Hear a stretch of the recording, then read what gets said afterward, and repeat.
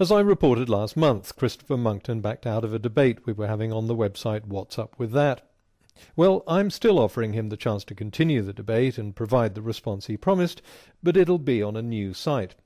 I'll give details at the end of this video, but first I have to explain what's happened. Monckton's decision to pull the plug on the debate has been swiftly endorsed by the man who runs the Watts Up With That site, Anthony Watts. I first got word of this not from Anthony, but from people who began commenting on it on my channel. It turns out he'd written this in the comments section of a Monckton guest post on Watts Up With That. He was referring to an interview with me that Peter Sinclair, aka Greenman, had posted on his website. While I can't hear what Hadfield is saying, they seem totally infatuated with their manhunt. So much for Hadfield's repeated claims of being dispassionate and logical. Thanks for posting this. When he starts colluding with that hateful green man, all semblance of rational debate is destroyed. This video then cements my decision not to provide any further space to Hadfield here. Well, Anthony, I don't know if Sinclair is hateful or not. Sinclair emailed me very politely asking if he could do an interview, and I saw no reason to refuse him. See, I'm not really interested in this rather silly us versus them cat fight that so many people seem to think substitutes for a debate about the facts. I don't have hate lists. Everyone's welcome on my channel, whoever they are and whomever they talk to. But as I've said before, Anthony, you have a perfect right to run your channel as you see fit, to ban anyone you want, and block any comments you don't like.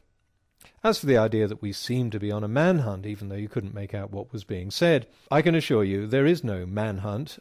I'm not looking for Monckton, and it doesn't really matter where he is. All he has to do is post his promised response and answer the allegations that have been clearly laid out and documented.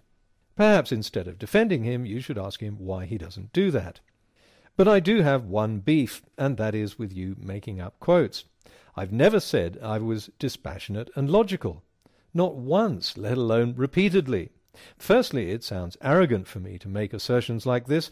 Secondly, whether the quote is flattering or not, making up quotes is simply wrong. Okay, I could explain why making up quotes is wrong, but this should be understood without having to have it explained. It's one of the first things they teach at journalism school, one of the first things academics learn when they do their research, and something even politicians realize. And this brings us back to the debate because Monckton, a politician, does know that his misquotes will be damaging to him, which is why he backed out of the debate. A few days after his comment was posted, I did get official word from Anthony Watts that he was pulling the plug on the debate. Oh well, I was delighted that Mr. Watts had even allowed the debate to begin, given that so many of his readers, and even one of his moderators, professed themselves admirers of Monckton.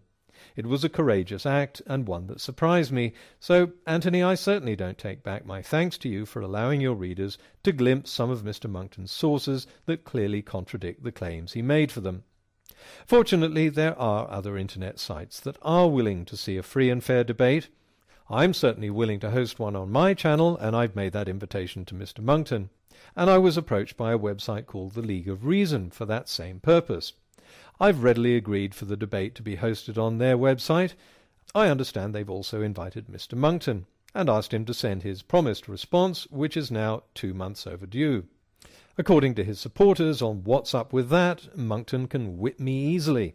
Great if you think a debate about accurately quoting sources is a football game, well then why doesn't he?